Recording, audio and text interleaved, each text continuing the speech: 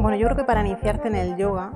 hablando, por ejemplo, eh, si habláramos en términos físicos, ¿no? una práctica física, eh, de ir a hacer asanas o cosas así,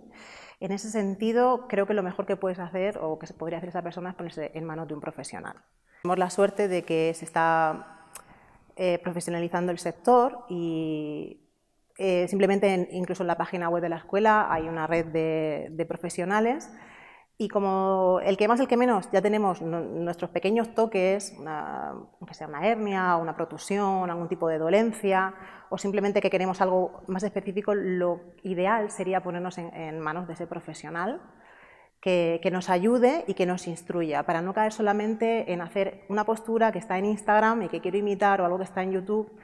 y que mm, al fin y al cabo el hacer una clase o el crear una serie tiene una coherencia y, no es tan sencillo de hacer y, mm,